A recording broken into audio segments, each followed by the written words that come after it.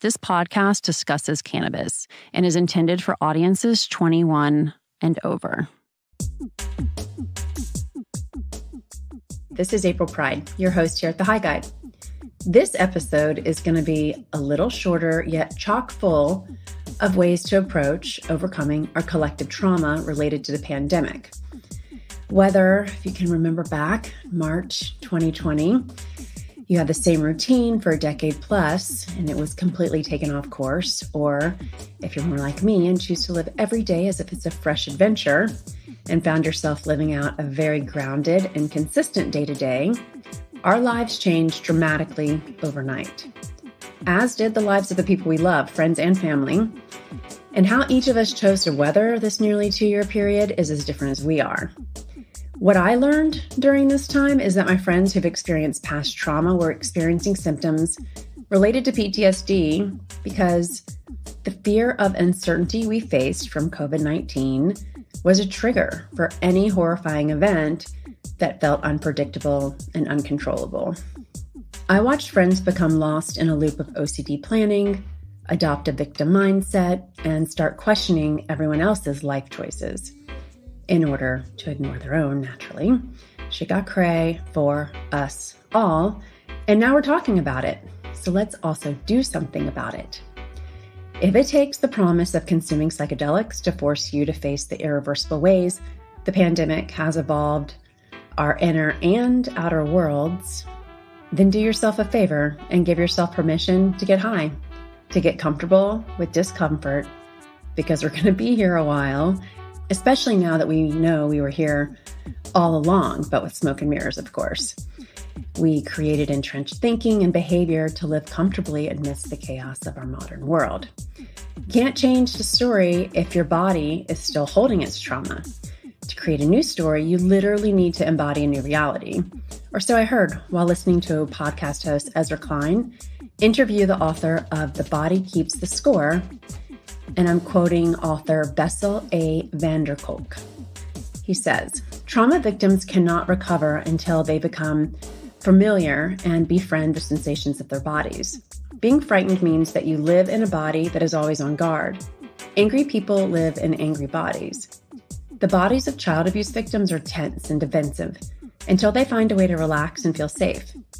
In order to change, people need to become aware of their sensations and the way their bodies interact with the world around them. Physical self awareness is the first step in releasing the tyranny of the past.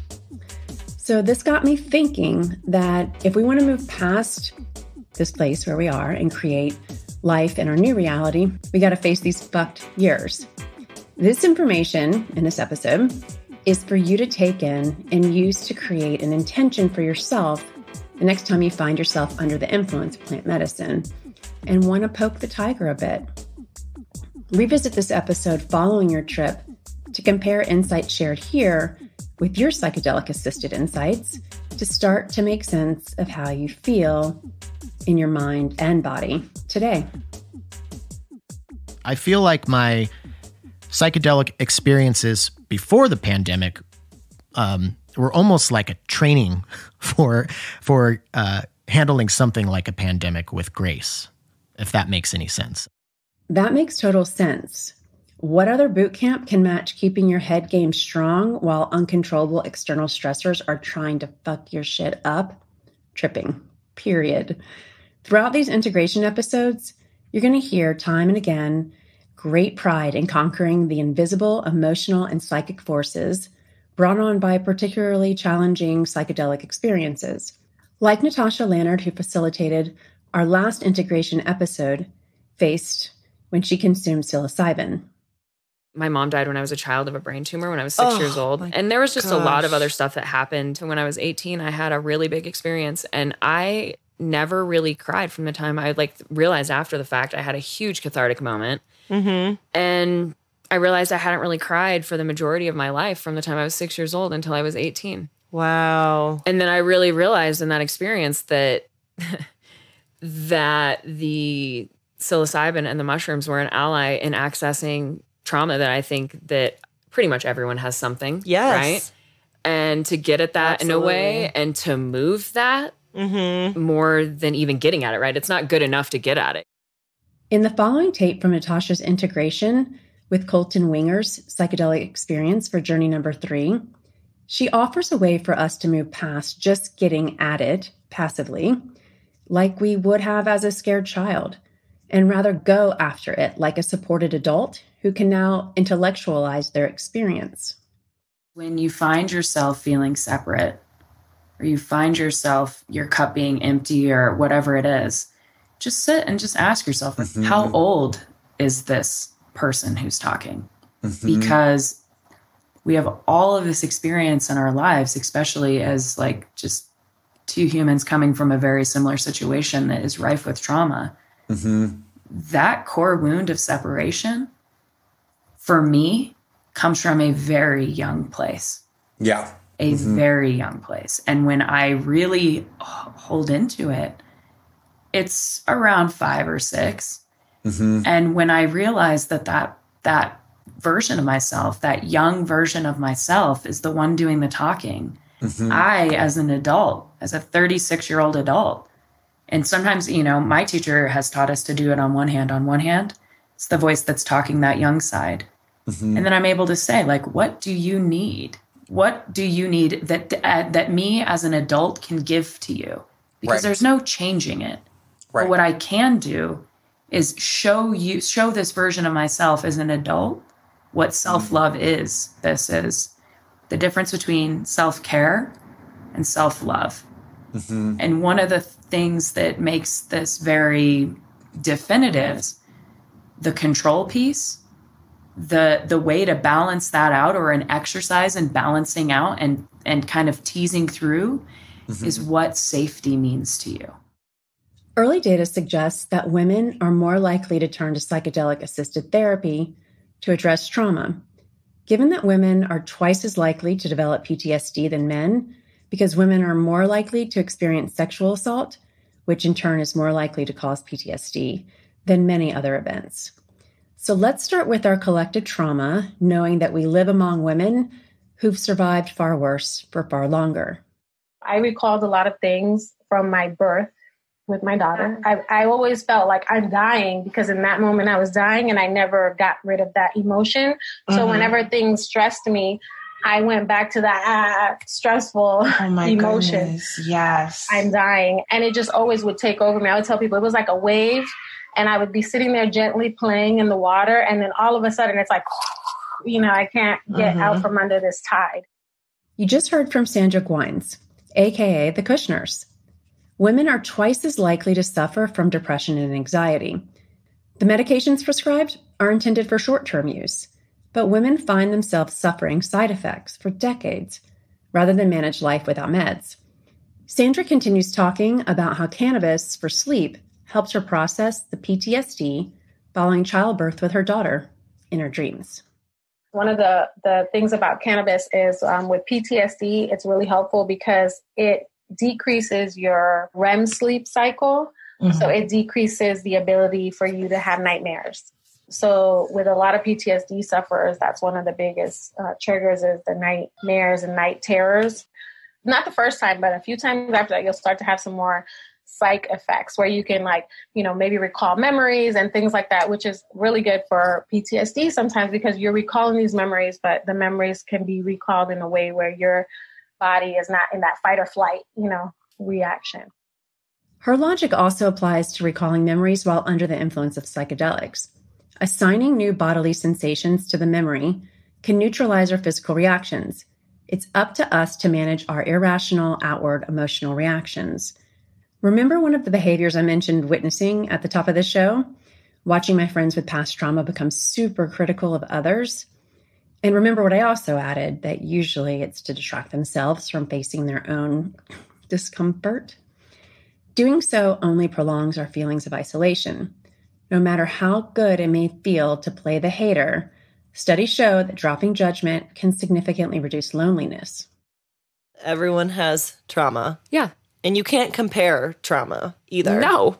And frankly, and when people, I see that still. People are always, you know, well, well I've had, I had a, a worse growing up situation than them. I just I know it, so they can't, you know. Yeah. It's just like, damn, we need to just all come together and help each other Well- with with plant medicine. I don't know about you, but I feel like after my plant medicine experiences, I love people more. Yes. I feel way more tolerant I have to more people I don't empathy. yeah, that I don't agree with and I am more kind to myself. And what comes out of these experiences is so rich, frankly. The integration of those experiences, especially if they're really deep and Mm-hmm. impactful, take time. A New York Times article written by Dr. Jennifer Taitz, an assistant clinical professor in psychiatry at UCLA, titled How to Reduce Your Risk of PTSD in a Post COVID 19 World. I'll link to it in the show notes. Dr. Taitz says, and I quote, I can't emphasize enough that it's normal to feel anxious now. Yay, we're all finally normal. To process thoughts about the pandemic that replay in your mind, she offers some techniques for when your thoughts aren't useful. Engage in mentally absorbing activities like working on a crossword puzzle or just working, or grounding yourself by noticing three sights, three sounds, and three sensations in your environment again and again. When ruminating starts, catch it and exchange it for gratitude. This advice also holds true when you're tripping. If you're prone to an OCD loop when not under the influence of psychedelics, then you may be in a loop far longer than you realize before it dawns on you. Or if you, like me, were once prone to looping, but thanks to insert successful cocktail of tools to manage, then if you get stuck in a thought while tripping, start to listen and look more intently. Another thing I do to come back into my body when I'm too in my head is alternating tapping my thumb to my pointer and middle finger. I can do it on one hand, sometimes I do it on two hands. And according to Tim Held, who composed Journeys number two and number four, there is certainly useful advice to be found on this show. because of this podcast that you're currently listening to, uh, I decided that I would dabble again within with edibles with THC because I I just have kind of a bad relationship with THC. It gives me anxiety and um, just kind of just doesn't make me feel great. And I realized that was just a, a dosage issue, really. So I just decided to take a quarter of what everybody else takes, and I started realizing that oh I, I really enjoy this and it really relaxes me but it's as long as i don't cross that certain threshold um, so yeah thank you april for that No problem, Tim. I'm always here to help you and all you listeners find yourself high. how psychedelics and my podcast played into my pandemic experience I was very grateful to have my podcast during the pandemic because um, it gave me an opportunity to socialize with people. And though my social life outside of my home had kind of, uh, you know, been been cut off like everyone else, I, I still was able to have novel conversations with with new people or people that I don't get to talk to that often on a regular basis. You know, a couple times a week. Uh, so that I think really kept me sane. Thanks for listening to this episode of The High Guide. And a big thanks to Patchworks, the High Guide's partner in presenting this audio series, Psyched Audio, to you. Patchworks is where electronic music makers of all levels go shopping. Patchworks has a simple mission to connect people with joy through electronic music. And the High Guide aims to do the same with psychedelics. Put them together, and what have you got? Psyched Audio. Tune in here next Friday for a new episode. It's our final journey of 2021. And we will continue into January with this alternating guided psychedelic audio journey and a follow up integration. But come season three, at the beginning of February, every week is an integration episode. Subscribe and follow wherever you listen to podcasts. And we don't just give good ear here at The High Guide. Find us on Instagram at thehigh.guide. Find more advice from our High Guides online at our website, thehigh.guide. And make sure to sign up for our newsletter to learn about our favorite products to find yourself high.